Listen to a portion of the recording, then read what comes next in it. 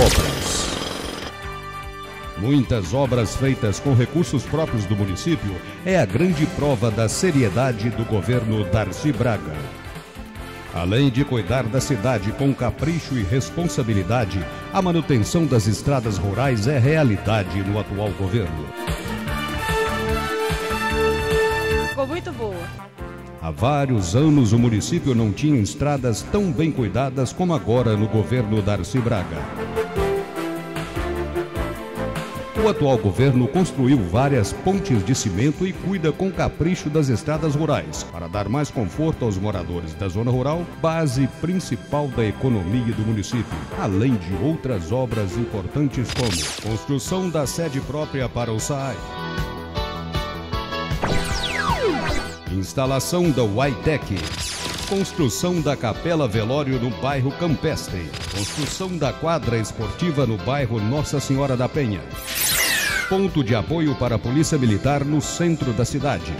Construção de redes de esgoto e pluviais nos bairros Morada Nova, Campestre e Nossa Senhora da Penha. Faixas de pedestres em vários pontos da cidade.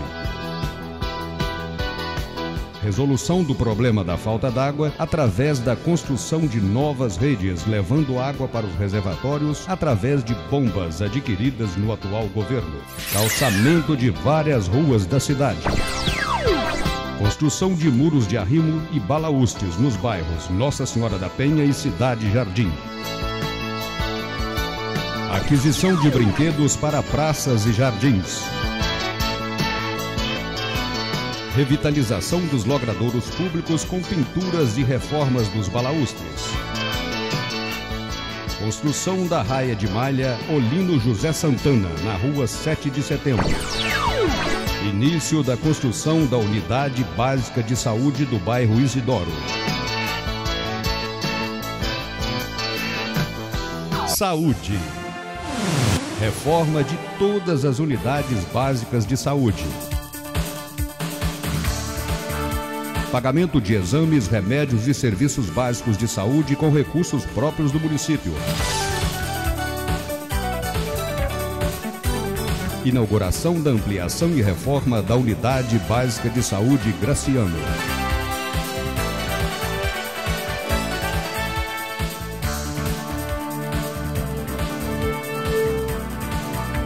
Educação. Investimento de mais de 3 milhões de reais na área da educação, com reforma e ampliação das escolas municipais. Reforma e ampliação das escolas rurais.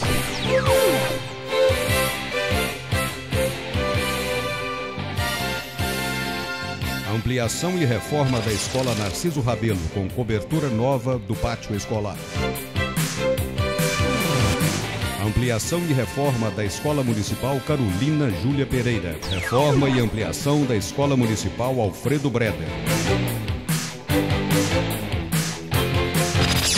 Inauguração da creche Celcilo Franco Soares, com equipamentos e brinquedos de última geração, oferecendo conforto e praticidade para as crianças de acordo com as mais rígidas normas do Ministério da Educação.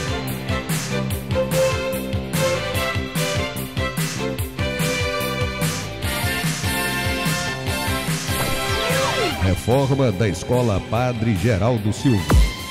Aquisição de mobiliário novo para todas as escolas do município e compra de Ultrabooks para melhor qualidade do ensino. Inauguração do Telecentro Tânia de Souza Coura Borel, no bairro Nossa Senhora de Lourdes. Aquisição de veículos novos e máquinas.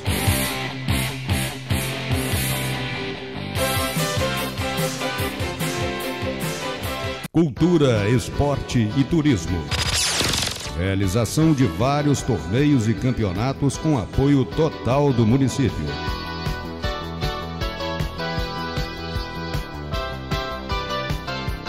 Incentivo aos atletas locais através de patrocínios.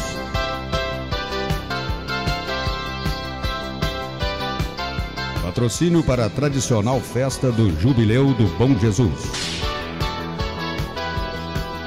Realização das festas tradicionais com incentivo às artes, concursos, oficinas e realizações culturais e apoio aos artistas locais. Reforma da entrada do Parque do Sagui e construção de rampa para salto de paraglider, atraindo vários turistas para Banho-Mirim.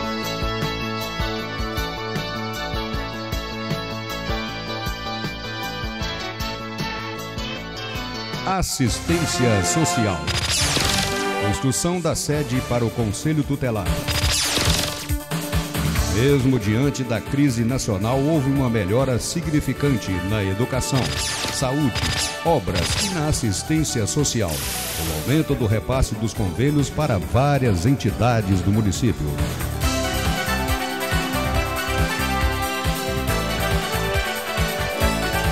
Apoio total às necessidades de famílias carentes. Esta é a forma do governo Darcy Braga trabalhar enfrentando a crise com criatividade e muito otimismo para um futuro cada vez melhor. Esse ano quero paz no meu coração. Quem quiser ter um amigo que me dê a mão.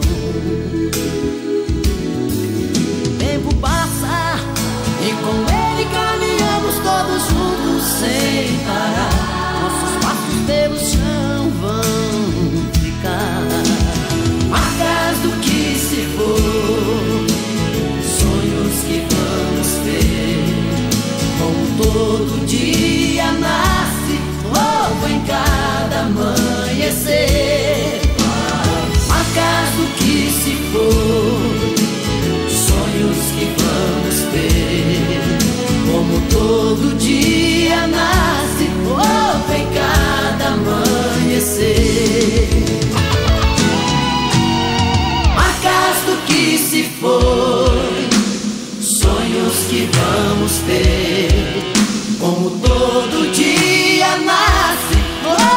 Cada amanhecer.